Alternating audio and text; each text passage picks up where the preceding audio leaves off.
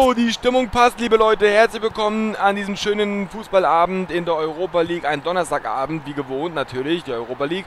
Und wir schauen mal heute, wie wir uns gegen CD Nacional aus Portugal durchsetzen können. Gewinnen wäre natürlich drin. Die Mannschaft ist grundsätzlich von der Qualität her etwas schwächer wie wir.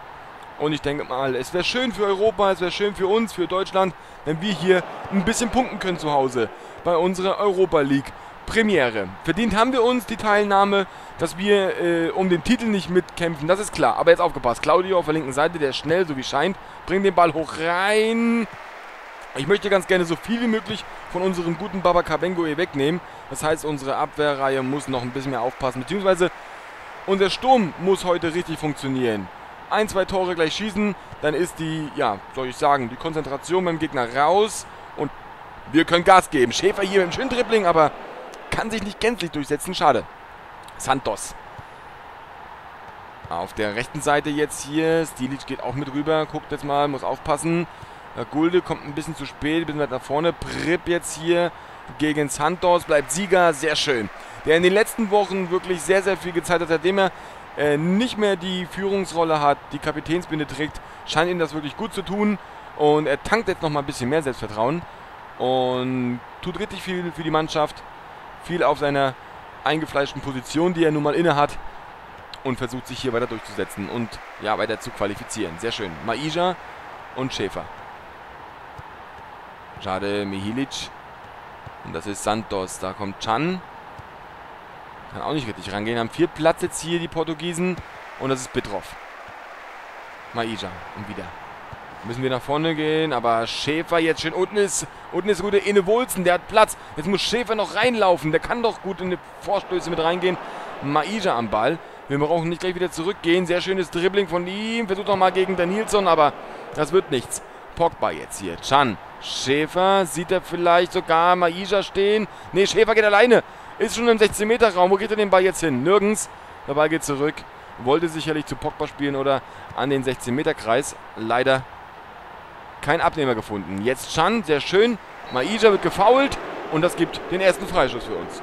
Prip ist drin, Prip kann schießen. Dann gucken wir mal. Danielson hier mit der gelben Karte nach 20 Minuten. Unsere Nummer 9. Da steht er schon bereit, die Nummer 8. Edgar Prip, der kann gut schießen, das wissen wir. Prip, oh, da war Dampf hinter. Ordentlich Dampf, leider zu, un, zu unpräzise, aber das sind die Ganz, ganz großen Stärken vom Edgar Pripp. So, Schäfer jetzt hier. Wird auch gefault. Abgepfiffen, gibt die nächste gelbe Karte. Rote Karte jetzt hier. Ist es dann Nilsson gewesen oder gibt es direkt eine rote? Nee, für Barbosa. Alles klar. Die Portugiesen nur noch mit 10 Mann auf dem Platz, 9 noch auf dem Feld. Einer steht noch im Tor. Und das sollte doch jetzt ein bisschen einfacher werden vielleicht. Gucken wir mal. Sehr schön Stilic. Schäfer. Schäfer, sehr schön, aber ja. Da fehlt der Torriecher. Da ist er am Trainieren. Der 20-jährige Ex-Bayern-Spieler aus der Bayern-Jugend haben wir ihn verpflichtet.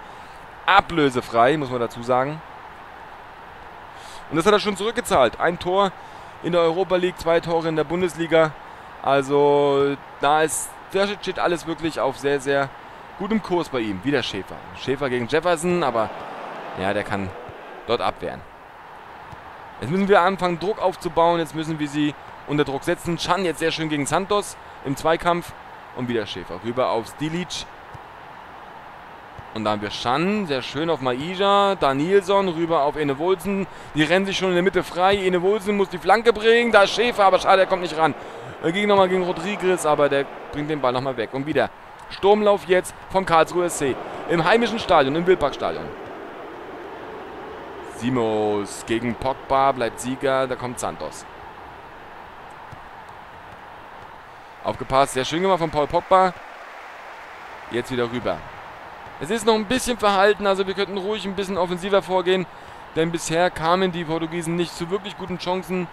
CD Nacional auch mit wesentlich weniger Ballbesitz als wir. Und wieder ein Foul.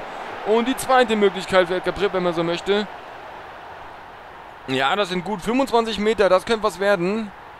Edgar Pripp schießt, aber trifft die Mauer diesmal. Da ist Schäfer, erobert sich den Ball, schießt nochmal, aber den Torwart an. Schade. Hat nicht ganz gereicht. Aber jetzt Edgar Pripp mit der Balleroberung. Bringt den Ball auf Maisha. Maisha, aber wieder Jefferson. Der Rechtsverteidiger der Portugiesen macht das sehr, sehr gut. Und hat jetzt schon zwei, dreimal sehr gefährliche Chancen abgewehrt. Und nach wie vor steht es hier 0 zu 0. Im ersten Spiel der Gruppenphase für unseren Karlsruher SC hier gegen CD Nacional. Vorsicht! Oh, wäre beinahe hier Kontermöglichkeit gewesen. Das ist Pogba jetzt. Sehr schön auf Schan und vor auf Maija. Der bringt den Ball, oder will ihn zumindest auf Schäfer bringen, aber ein bisschen zu hastig. Hastig, etwas zu ungenau und schon wieder ist der Ball in den Reihen der Portugiesen hier in den gelben Trikots. Vorsicht, Babaka Bengue. Macht sich da ganz lang, aber hat gar nicht eingreifen brauchen. Ballbesitz 55%. Nicht so überlegen, wie ich mir das wünschen würde. Aber man muss jetzt auch kein unnötiges Risiko eingehen hier. Denn die haben sich auch nicht umsonst hier qualifiziert, muss man dazu sagen. Jede Mannschaft, die jetzt hier drin ist, die hat es auch irgendwo verdient. In der Gruppenphase, ganz klar. Maija. Maija, schade. Ach. Mensch, jetzt Pogba nochmal. Kriegt nochmal den Ball auf Maija, sehr schön, aber der, der, ihm fehlt da so, ihm geht irgendwie diese, diese Passgefährlichkeit nicht ab. Er findet dann selten die Räume, in die er spielen sollte oder könnte, um einen seiner Kollegen vorne zu bedienen. Schäfer steht eigentlich relativ gut meistens, aber leider zu ungenau. Zu nervös noch, obwohl er schon mittlerweile ein alter Recke ist im Sturm müsste er es eigentlich besser machen. Schäfer jetzt hier, aber das Dribbling wird wieder gefoult. Gibt die nächste gelbe Karte. Und können sie bald noch einen vom Platz stellen. Jetzt Jefferson, der hier sehr gut agiert hat in den ersten 45 Minuten, muss jetzt diesmal etwas aggressiver zugange gehen und handelt sich gleich eine gelbe Karte ein. Pogba jetzt auf Emre Can. Wäre schön nochmal mit einem 1 zu 0 vor der Halbzeit. Und wieder ein Foul. Meine Güte, so, die nächste gelbe Karte für ihn diesmal. Ja, gelb-rot. Jetzt sind sie ja nur noch mit neun Mann auf dem Platz. Ach du heilige Güte. Äh, du heilige Güte. du meine Güte. jo, alles klar. So, jetzt müsste es doch eigentlich für uns einfacher werden. Prip, dem machst du jetzt. Aber hallo, Prip. Ach, Gottes Willen, gibt's denn das? Er kann das nochmal so gut. Er dreht sich sogar noch rein, aber hat nicht gereicht. So, die zweite Halbzeit steht natürlich ganz in, in Zeichen des Karlsruher SC. Wenn wir das hier nicht gewinnen sollten, na, dann machen wir irgendwas falsch. Portugiesen mit zweimal weniger, das sollte jetzt doch einfacher werden. Gucken wir mal, wie wir das taktisch noch veranlagen können. Schieben wir die Jungs noch ein bisschen weiter in die Offensive. Können wir versuchen, jetzt ein bisschen über die Seiten zu gehen. Dass wir nicht immer durch die Mitte müssen. Dann können die beiden Stürmer bedient werden. Alles klar. Motivieren müssen wir auch ein bisschen. So wie Bell. Jetzt sollten wir einfach schnellstmöglich hier 2-0 in Führung gehen. Und dann wird es für uns auch noch ein bisschen einfacher. Gulde und Bengue muss ich motivieren. Sehr schön. Alles klar, gucken wir mal. Ich hoffe mal nicht, dass ich mir wieder von unserem guten Verfahren anhören muss. Von wegen, das war nicht europatauglich. Dass wir uns hier nicht richtig haben durchsetzen können. Äh, Im 3D-Modus. Da sahen wir bisher noch nicht so gut aus in diesem Jahr, glaube ich. Also, da hatten wir schon schönere Spiele. Bell jetzt hier. Vorsicht. In der, in der Offensive fehlt den kein Mann. In der Defensive. Jetzt müssen wir mal schauen, dass wir das hier äh, schön solide auf die Kette kriegen. Freistoß. Ach, Gott sei Dank. Gott sei Dank.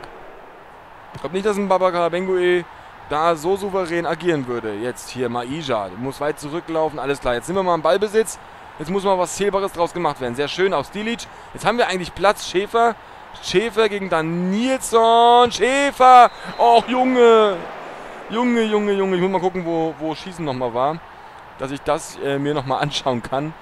Äh, angreifen. Hier ist Befreiungsschlag. Hier ist der Schuss auf S. Wäre es dann. Alles klar. Lass sie im richtigen Moment abschießen. Gulde. Gulde. Gulde steht in der Offensive. Also Wahnsinn. Maiga kriegt den Ball wieder abgenommen. Mensch, Jungs. Es könnte ruhig ein bisschen souveräner hier vorwärts gehen. Sehr schön. Inne Wulzen. Auf Modibo Maija. Sieht er jetzt mal Schäfer ordentlich laufen? Nein. Verliert den Ball erneut. Wir können auch noch unsere Abwehr jetzt einfach ein bisschen weiter nach vorne rücken. Pressing überall. Denn jetzt müssen wir gewinnen. Wir sind in Unterzahl. Auf geht's. Santos Vorsicht, Santos, Simons, Gulde, Pogba. Hat aufgepasst, sehr schön. Und jetzt sind wir noch in Überzahl. Schäfer über Stilic auf der linken Seite. Läuft gut, läuft gut, macht da viel Raum. Jetzt kann er in die Mitte spielen. Da unten steht auch schon wieder Schäfer bereit. Er bringt die Flanke hoch. Schuss von Maisha. Habt ihr das gesehen? Habt ihr das gesehen? Oh, du Gott, liebe Güte. Also katastrophal, muss man bald sagen. Gucken wir mal. So, jetzt nochmal. Chan. Jetzt sind wir doch. Jetzt muss doch mal was Zähbares bei rauskommen. Das kann doch wohl nicht wahr sein. Maija. Sehr schön auf Ene Wolzen. Der sieht unten auch Schäfer laufen und da ist ja noch einer frei. Sehr schön. Ene Wolzen. Bring den Ball doch mal ordentlich rein. Also, langsam kriege ich hier die Krise. Es sind schon, es sind schon 61 Minuten gespielt. Ich bringe jetzt Dilic. Äh, Chan ist ein bisschen unter seinem Niveau. Ich bringe jetzt heute mal äh, Bui nochmal rein auf die linke Seite. Gucken wir mal, ob er es ein bisschen besser hinkriegt. Das kann doch wohl nicht wahr sein.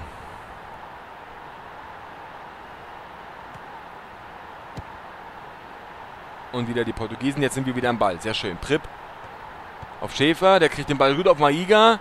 Maija, er ist durch. Und die hat er auch schon gemacht. Die hat er auch schon gemacht. Ich gehe mal hier weg von ihm, dass er Sturmtank ist. Vielleicht hilft dann ein bisschen, dass er Schäfer anspielt. Also, ist ja unglaublich. Also, dass wir hier, äh, dass die das 0 zu 0 halten. Vor allem, weil wir die Chancen nicht reinkriegen. Meine Güte, also jetzt, Jungs, bitte, lasst mich jetzt hier nicht so beschissen aussehen. Weil das wäre dann so richtig, so richtig bitter hier, wenn die schon mit zwei Mann weniger auf dem Platz stehen. Dann muss unsere Offensivabteilung jetzt einfach gut agieren. Schäfer macht das gut hier. Beschäftigt gleich zwei Mann. Stilic weniger gut. Maija. Und da die Portugiesen am Ball. Lassen ruhig ein bisschen nach vorne kommen, dass wir einfach wieder Überzahl gewinnen können. Hier Bui will mit reingehen. Okay, er, er, er geht hier gut, rein in das Spiel zeigt Einsatz. Santos, Simons und Bengui hat gehalten, Gott sei Dank. Also, meine Fresse, also das ist jetzt hier schon äh, ganz harter Tobak, was hier abläuft. Verkehrte Welt, möchte ich bald sagen. Chance für die Portugiesin und Bengui und Tripp mit dem Befreiungsschlag. Das war eine riesengroße Chance, eine riesengroße Möglichkeit. Kein Abseits jetzt hier von Maiga. Und da stellen wir vorne stehen noch drei Mann. Und Abseits doch. Ach du Scheiße. Mann, Mann, Mann, Mann, Mann. Stilic. Über 70 Minuten sind gespielt. Bitroff jetzt. Hier bleibt Sieger. Ganz fair. Super. Und jetzt den Ball ordentlich nach vorne. Ohne Abseits, bitte. So, Inne Wolzen. Und Inne Wolzen. Jetzt stehen sie alle im Abseits, oder was? Nee. Sehr schön. Bringt den Ball jetzt hier auf Schäfer. Schäfer. Oh. Eckball. Kommt schon, Jungs. Zeig mal was jetzt hier. Ball kommt hoch. Nochmal abgespielt. So, wo geht der Ball jetzt hin? Prip. Da ist Schäfer. Schäfer! Und er macht es. 1 zu 0. Zweites Tor in der Europa League. Oh. Vorlage Edgar Pripp. Und Rudi Spuckhardt. Meine Fresse, also das war jetzt hier schon eine, äh, eine halbe Missgeburt, bis das zustande kam. Meine Güte. Gott sei Dank hat einer jetzt mal hier ein bisschen Nerven bewiesen. Ach du liebe Güte. Okay, alles klar. Jetzt müssen wir das hier nur äh, noch ein bisschen souveräner gestalten. Äh, umstellen, glaube ich, muss ich hier nichts mehr. Das muss jetzt einfach hier über die Bühne gebracht werden. Claudio. Bitroff vor sich. Santos. Bitroff, sehr schön. Fair getrennt und Pogba. Bringen den Ball nochmal schön nach vorne. Hier ist Maija, sehr schön. Oben rennt sich auch Ede Wolzen frei. Den kann man auch ein bisschen mehr in den Lauf spielen, mein lieber Modibo. Das muss nicht so behindert aussehen. Stilic, aber der kommt auch nicht an. Das kennt man auch nicht von ihm. Normalerweise so ein sicherer äh, Passverteiler. Seltsam, seltsam. Also, die tun sich hier furchtbar schwer heute, unsere Jungs. Einer hat Nerven bewiesen an der Stelle. Und das ist fraglich, Oh, Vorsicht, Claudio, der ist im 16-Meter-Raum. Und das ist Prip, sehr schön. Bringt den Ball nicht richtig weg. Bui, hinterher, hinterher. Pogba ist auch da. Und das ist Simons wieder, sehr schön gemacht. Prip, jetzt erstmal Befreiungsschlag und raus. Einwurf. Gucken wir mal, wen können wir noch irgendjemanden einwechseln? Ich würde sagen, ja, wir nehmen äh, Maija raus, bringen jetzt Adama her. Und dann haben wir noch einen zweiten Mann in der Defensive. Dann gucken wir doch mal gerade rein, ob der nicht vielleicht den einen oder anderen einfach zustellen kann. Und zwar Anweisungen. Äh, keine Vorstöße mehr. Das hat sich jetzt ausgevorstoßt hier. Und dann gucken wir mal, dass wir im direkten Vergleich mal her den Simon, den einen echten Stürmer noch äh, zuteilen. So, alles klar. Ein bisschen einwechseln können wir ja, das ist ja das Schöne. Ein bisschen können wir ja auch noch äh, rotieren. Ähm, obwohl nicht auf gleicher Qualitätsebene, aber trotzdem zumindest kriegen wir verschiedene Systeme noch halbwegs zustande. Sehr schön Pogba jetzt hier mit dem Kopfball im 16-Meter-Raum. So, Adam mal her. Jetzt am Ball. Das ist Ene Wulzen. Jetzt haben wir nur noch Schäfer vorne, aber das reicht ja meistens auch. Er macht es ja sehr souverän. Ene Wulzen will jetzt hier den Zweikampf. Ärgerlich. Foul an der Stelle. Aber lieber ein taktisches Foul, bevor wir da noch Risiko eingehen und sie uns auskontern. Nochmal ein Abschlag. Drei Punkte in der Gruppe wären ganz, ganz stark. Kriegen wir die?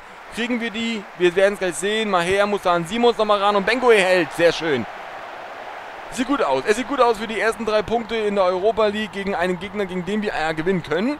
Die anderen, die kommen, die sind schwieriger. Aber die Punkte haben wir. Das heißt, wir sind mit einem Sieg zumindest mal äh, in Europa angekommen und haben uns hier gut präsentiert. Ja, das heißt gut. Ja, bedarfsorientiert präsentiert. Liebe Leute, wir gehen schnell in den Nachbericht, machen noch ein kurzes Intermezzo, bevor es wieder in die Bundesliga geht. Gegen Bremen jetzt am Wochenende. Bis gleich.